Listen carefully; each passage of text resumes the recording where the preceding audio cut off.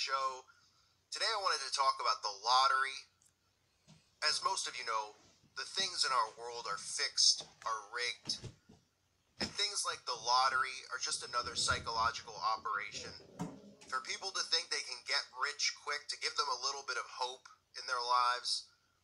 Now, I'm talking about the major lotteries. I'm not talking about scratch off tickets where you could win $50, $20, $100, even sometimes $1,000. Those are in place to give people the illusion that the big lotteries, the mega millions, are actually real. So people think, oh, I've won the scratch off before. I can win the big one if I pick the right numbers. It's all an illusion. Remember, they're not allowing anyone, anyone, to become an instant millionaire or billionaire in this world. They control the wealth, they control the resources, they control everything. Just imagine if someone like myself had won the lottery and won $600 million. Don't you think they'd be a little afraid that maybe an uprising actually could start or would start? They would never allow that to happen. They won't let people get rich. Even people who come up with great ideas. They'll steal the idea or they'll make you sell them the idea or become a part of the brotherhood. Otherwise, they could just off you and take it. So I wanted to talk about the lottery. And of course, it starts with the logo, right? How many times do we see these logos that just tell us in plain sight what we're looking at? Well, look at the logo for the National Lottery. You have to be blind not to see it you can clearly see the 666. You see the six, and then you see the two sixes, which are supposed to be eyes. And how many times do we see this stuff? How many times do we see these logos that constantly show us who's in control, who these people work for, the 666 or the Ouroboros or the pyramid? Right? The constant signs, the constant symbols. You could see it right there right in plain sight for everyone to see who has eyes to see. You can't hide the fact that that's a 666. And of course, we know that even in the Illuminati card game, the state lotteries is one of the cards inside the game. Because these lotteries give people a fake illusion of hope in their lives. Just something else for them to take and give you and then step on. Because remember, they constantly want you to think you could become this, you could become that. Right? You could do anything you want. You could be a millionaire, you could be an athlete, you could be an actor, you could be a famous musician, be a model, America's Next Top Model. It's all of this stuff they want you to waste your time trying to achieve and think you can get.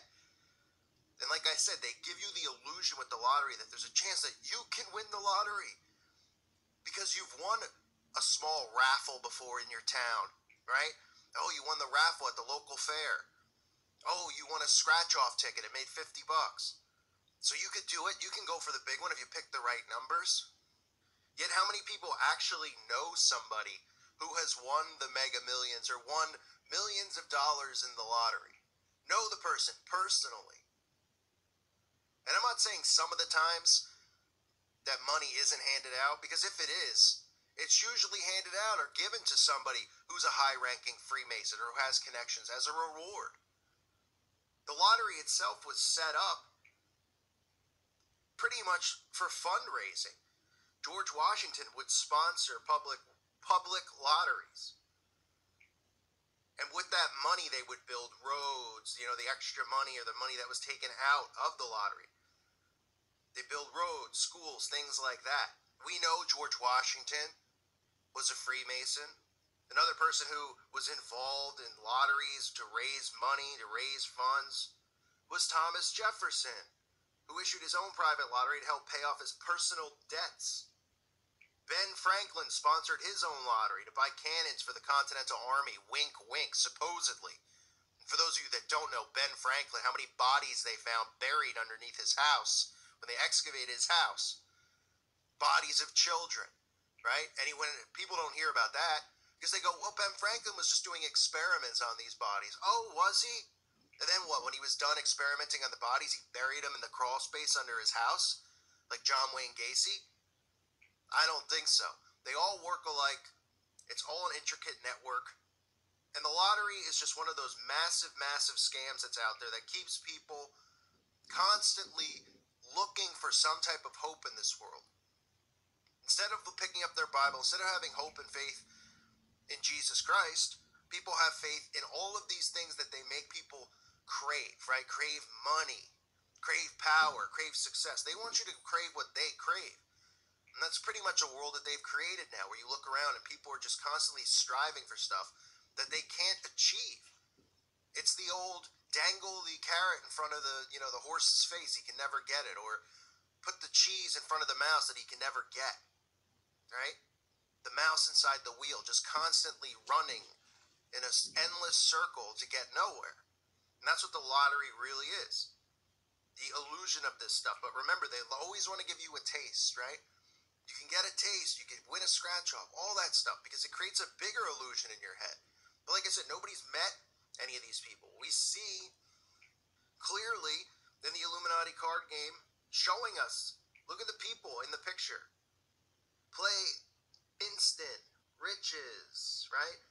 Everybody's just grabbing the, you know, the scratch tickets, the lotto tickets, just continuing to chase after this illusion. And like I said, the logo itself speaks volumes. It speaks volumes. It's all in a logo. These companies, people think that they just come up with a, logo. They pull it out of thin air. They're like, hey, you know, we're going to have uh, somebody come in and they're going to put up some logo ideas and we're going to pick the one. Yet all of them seem to have a 666, whether it's Disney, whether it's Google Chrome.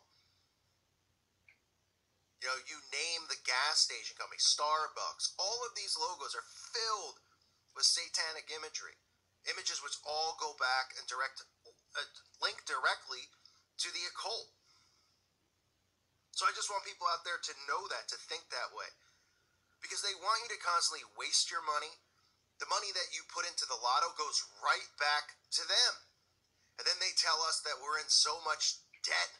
Oh, our country is in so much debt. We're all in so much debt. Debt, debt, debt, debt, debt, debt, right? Because debt beats you down. Meanwhile, all this money that they collect just goes right back in their pocket, just like everything else. It goes right back to the top, right? We work all these hours. People work nine to five, nine to seven every day, just so they can come home and pay their rent and pay their property tax. They're left with what? A couple thousand dollars if they're lucky at the end of the year in savings. And all the money that they work and slave for goes right back to the people at the top. And what they do is they just waste your life away 40, 50 years of waste, distraction, keeping you away from truth, keeping you away, in a sense, from God, too. A lot of people are too busy to seek God, to read the Bible. A lot of people are too depressed to even want to do anything because they're constantly enslaved. And then it also gives people no time to do what? To search for answers, to see, do the stuff that is going on out there that people are researching and finding out about the lies and the deceit of this world. And we've seen so many times over these huge power balls, right? These huge, huge power balls, and nobody hits them. Nobody that you know. You see these random people go up, they all look the same cookie cutter white guy, older, holding the check. But when you look back at the origins of the lottery, you need to look no further.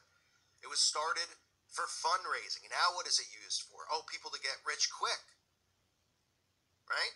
Nobody asks about what happens to you know, the money that's taken out. Can we get it? Can anybody account for the money? You know, if, you, if somebody made six hundred fifty million dollars, can anyone account for the other three hundred and twenty-five million that goes into taxes and where where it gets spread out and all that stuff? No, because nobody cares. Nobody asks any questions about that stuff. Nobody says, "Hey, who's this winner?" You know, you get a little fake story. They'll put the Powerball winner on Good Morning America. Oh, you know, I walked into the store. I was wasn't gonna do it. I was gonna go home and see my wife, and I said, you know, maybe I'll stop in and put my wife's favorite numbers on the ticket. And what do you know? We won. And people go, oh man, you know, all those times I've thought about pulling over and getting a ticket Powerball ticket. I never did. I drove by. I, you know, I'm going to do it from now on. Because they try to relate to people. Oh, yeah, I've done that before. I put my wife's favorite numbers or my kids' birthdays down. It's going to hit one of these times. And then all you got to do is just look right at the logo right in front of your face because it's always right there. The National Lottery. Six, six, six. Need I say more? Fingers crossed, folks. I mean, give me an absolute break. Remember, this is always an illusion. An illusion of things that you think you can obtain, you think you could achieve, the illusion of a republic, the illusion of freedom when we're really being monitored and listened to and watched around the clock. These are all illusions, illusions of grandeur. You're going to be the next big thing.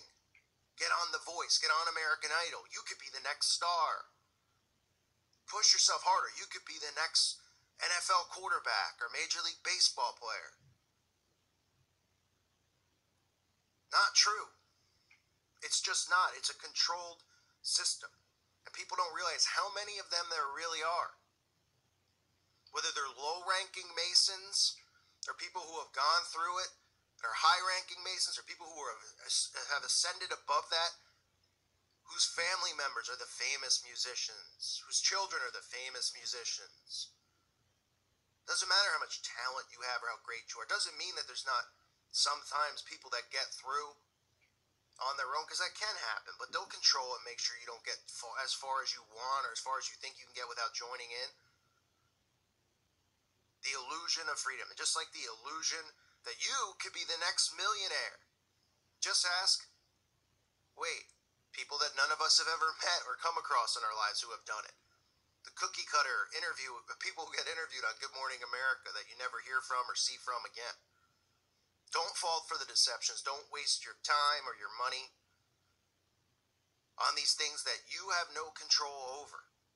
Things don't happen at random with these people. They're not randomly going to let somebody become a millionaire. You and me, we're not randomly hitting a $600 million scratch off. Okay? Every number and every ticket that gets bought, they have that processed in a system so they know that the ticket's out there. Right? Why do you think you get these? Oh, the Powerball has reached $700 million. Oh, it's reached a billion. Because every single number is accounted for in every ticket. And they just run it through software. Right? And they'll say, okay, make sure the numbers come, you know, whatever they do to have the numbers come out. Obviously, the balls pop up or whatever they do, which is can easily be rigged. Obviously, it's not like you know they're going through each ball inside the thing and showing you that it comes out at random. It's all controlled, you know, with the vacuum sucking the balls out of the thing. But they know which numbers are there, so they go, okay, we'll make it these numbers because nobody has this ticket, and then we'll continue building it up and building it up, and the suckers will keep buying the tickets and wasting the little money that they have left over from their paycheck to buy the tickets with hopes that they can live like Jay Z or live like LeBron James or live like Katy Perry and be rich. And then they do it again and they do it again and they do it again and the media just pumps it up. Oh, you hear about the Powerball? Oh, you hear about the Powerball? At least once or twice a year you'll hear about it. They'll get everybody out there, all the suckers that go buy the tickets, wasting the money that they, the little money they have, giving them this little carrot on a string of hope that their lives can change and they don't have to go back into the matrix. But what ends up happening? Somebody wins, nobody knows, and then they go away. And it's not a coincidence, folks. Nothing in this world happens at random when it comes to lots and lots of money like this. Randomly, somebody's not just going to fall upon it. And like I said, you can see the card in the Illuminati card game you can see what a distraction is, and the 666 is right in the logo. I thank you guys for listening to today's show. Hope I didn't dash anybody's hopes. Doesn't mean you can't make money inside of this system, but obviously your goal in life should not be money. We all need money to live, we all need money to get by. But becoming a millionaire instantly overnight is just not in the cards for any of us. And it shouldn't be something that we strive for or want. They just try to make us think that it'll bring happiness to our lives. It'll bring happiness to your life. You don't have to worry. Yeah, well, it would be nice not to have all these bills that we all have. But really, in reality, we shouldn't have all these bills that we have and things that we owe money to. It's because we've allowed them to control all this. But we could always take that control away. That's really the key. I thank you again for listening to today's show. God bless all of you and your families.